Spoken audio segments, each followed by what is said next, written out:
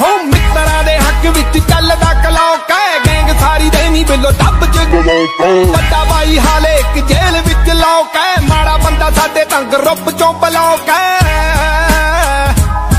ਲੋੜ ਪੈਣ ਤੇ ਯੂਜ ਨੇ ਕਰ